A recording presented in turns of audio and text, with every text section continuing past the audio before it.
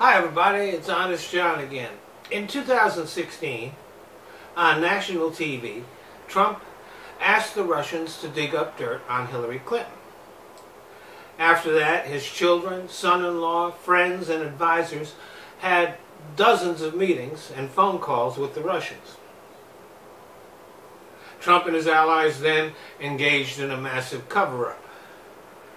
Trump keeps saying no collusion, when in fact there was a ton of collusion, that there was, there's a ton of evidence that there was collusion.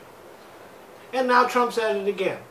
This time, he has pressured the Ukrainian president to dig up dirt on Joe Biden and his son Hunter. This time, he made a promise to the Ukrainian leader to reward him if he did that. Now, we don't know exactly what he promised, but we know he promised him something. And whatever it was, it was so alarming that an intelligence officer who learned about it filed a whistleblower complaint, which was supposed to be forwarded to Congress. But the Trump administration is once again engaged in obstruction of justice, trying to cover it up. Does this all sound familiar? It should. Once again, we have Trump engaged in criminal and treasonous behavior and obstruction of justice. Bob Mueller, in his report, did not say that there was no collusion between Trump and the Russians. He said that he couldn't prove it.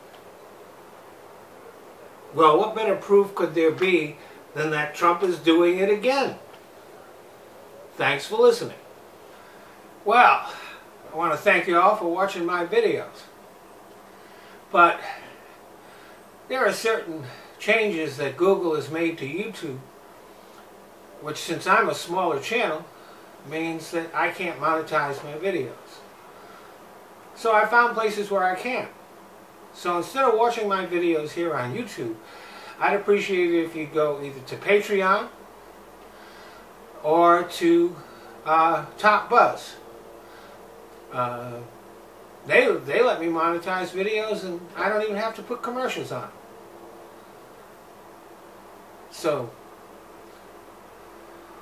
if you want to become a patron on Patreon, that's fine. If you don't, you can still watch the videos there.